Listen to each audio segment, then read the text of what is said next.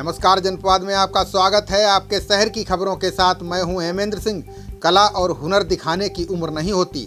आज हम ऐसी ही एक प्रतिभावान छात्रा के बारे में बताने जा रहे हैं, जो इंटर में पढ़ रही है। छात्रा पिछले आठ साल से मूर्तियाँ बनाने का काम कर रही है। ये छात्रा कोई और नहीं, बल्कि उत्तर प्रदेश जनपद की रहने वाली पिंकी है। पिंकी की बनाई कलाकृति हर किसी को अपनी ओर आकर्षित कर लेती है। लोग पिंकी के हुनर को देखने के लिए दूर दूर से आते हैं। उत्तर प्रदेश के कन्नौज ज़िले के छिबरामऊ विकास खंड के गाँव कुमरपुर बनवारी में रहने वाली पिंकी बेहद गरीब घर से हैं। पिंकी आठ साल से मूर्तियों को आकार दे रही है। हमारे संवाददाता राम ऋषि पांडे ने पिंकी से बातचीत की। पिंकी ने बताया कि पिता मूर्तियाँ बनाने का काम कर रहे थे। पिता को मूर्तियाँ बनाते देख पिंकी ने ये हुनर सीख लिया। पिंकी ने बताया कि वो एक हज़ार से ज़्यादा मूर्तियों को आकार दे चुकी है। कन्नौज के छिबराव विकास खंड के गाँव कुंवरपुर बनबारी में एक छात्रा ने अपने हाथों की हुनर से मूर्तियों को आकार दिया है। आज हम वो छात्रा से आपकी मुलाकात कराने जा रहे हैं, जिस छात्रा ने अपने हाथों की हुनर से मूर्तियों को आकार दिया है। पिंकी आपने जो मूर्ति बनाई है, कितनी अभी तक मूर्ति आप बना चुकी हैं? हज़ार से ज़्यादा मूर्ति हम बना चुके हैं, और किसी से रुपया नहीं लेते, ऐसे ही दान कर देते हैं। जो भी कहता है कि मेरे लिए बना दो तो हम उसे दे देते हैं। कैसे ख्याल आया था?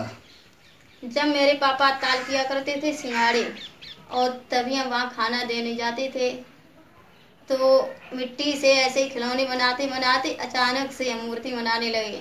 किस प्रकार की आपने अभी मूर्ति बनाई है? हमने कृष्ण भगवान जी की हनुमान जी की साईं बाबा की और सरस्वती मैया की और दुर्गा मैया की लक्ष्मी मैया गणेश जी की सबकी बनाई है। अच्छा किस मिट्टी से आप बनाती हो? कहाँ से लाती हो मिट्टी? ताल पैसे मिट्टी लाए के और तब मूर्ति बना चीका मिट्टी की। मतलब ये ये आप मूर्ति बनाती हो तो इसमें क्या क्या लगाते हैं? इसमें सिर्फ़ एक लकड़ी लगाते हैं अंदर बस। से रंगाई पुताई करती हो आप? ये वाटर कलर लेके आते हैं बीस रुपए वाले। उससे ये कलर कर देते हैं। तो आप ये मूर्ति बेचती नहीं हो फिर भी आप वाटर ये ला, लाती हो पुरुष वगैरह। ये कहाँ से लाती हो? कि किनसे पैसे लेती हो? पापा से रुपया लेके जाते हैं। पापा मना नहीं करते कि अब रहने दो।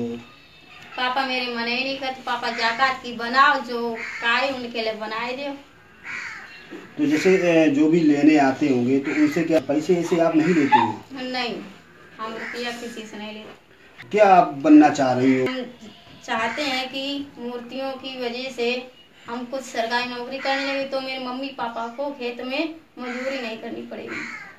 तो अभी पापा क्या करते हैं आपके? पापा कुछ नहीं करते क्या पापा को क्या दिक्कत आ गई थी? पापा की याद बस्ट हो गई थी तब पापा से गाड़ी किया करती थी तब से मजदूरी करते हैं। मम्मी की मेरे कैंसर है अभी तक दवा खाती हैं। आप लोग आप लोगों कैसे पेट पलता है?